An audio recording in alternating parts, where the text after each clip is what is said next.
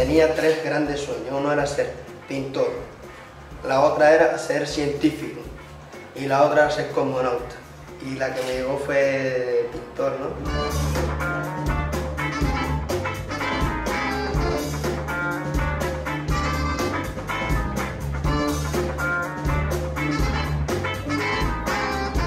Recuerdo que un día salí a buscar a mi hermano para ir a, a robar naranjas y estaban todos pintando ahí en el parque.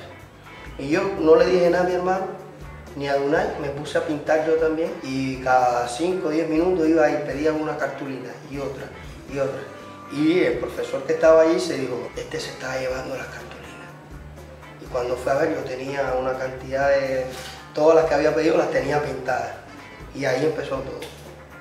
Por un supuesto robo que nunca se hizo.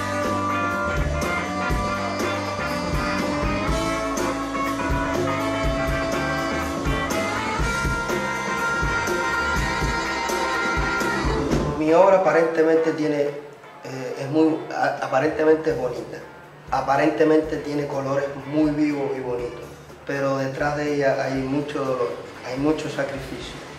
Cuando recorría la exposición Paisaje a los 37 años, yo miraba y decía, qué cantidad de colores, pero cuando trataba de ver sin color, había mucho dolor. Cuando vemos unos tulipanes de colores, dices qué bonito y qué cosa tiene que ver, es tanta belleza detrás. Pero cuando descubres, cuando te pones a pensar, dentro de esa obra hay mucho dolor dentro de mí, porque están e- la técnica de metal inflado y a mí me falta un pulmón.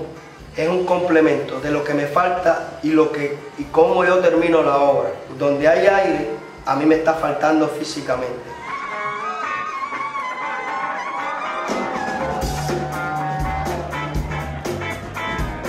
Raíz de la pieza esta de los elefantes, mi vida cambió y cambió la visión del mundo del arte con respecto a mi obra y se incorporó el pueblo. Y ahí descubrí que en el, en el arte es más difícil crear una sonrisa, un estado de ánimo feliz que una manipulación.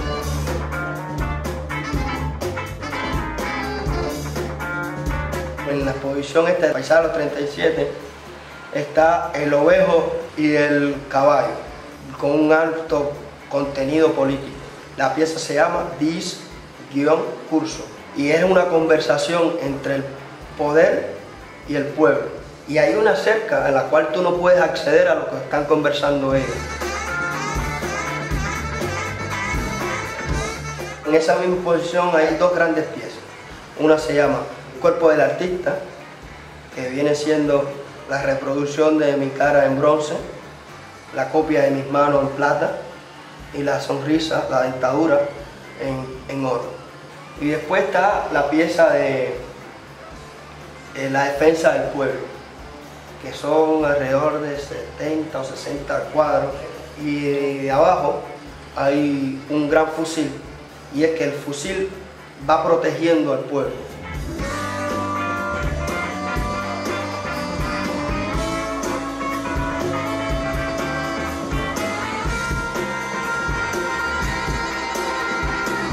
Para mí, eh, Cuba es como el agua del peso. Mi obra carecería de mucho sentido fuera de este contexto.